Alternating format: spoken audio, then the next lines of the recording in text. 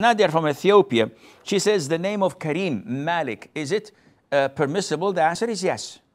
There was one of the great companions of the Prophet ﷺ by the name of Hakim ibn Hizam. So his name is Hakim.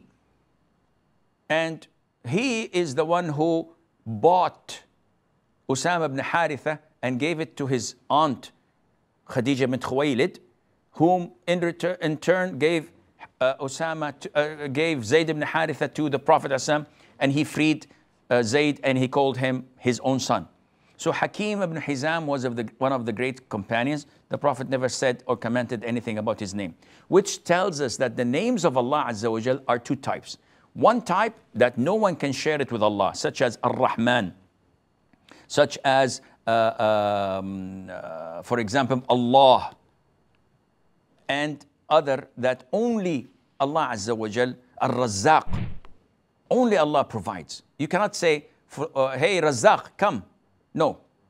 Or Rahman, as in so many people in the UK, they dropped Abd, Abd and they just use the name Rahman.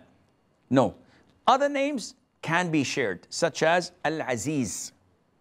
And you find this mentioned in Surah Yusuf, describing Yusuf, peace be upon him, his title as Al-Aziz. There is names such as Ar-Rahim.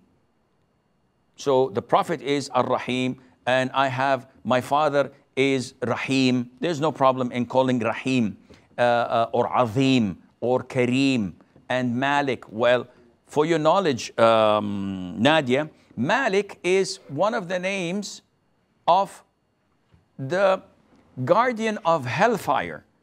And it's mentioned in the Quran that the people of hell are calling Ya Malik, O angel who is guardian of hell. Ask Allah Azza wa Jal to find us a way out. Malik, it's the name of an angel. So it can be both ways, and Allah knows best.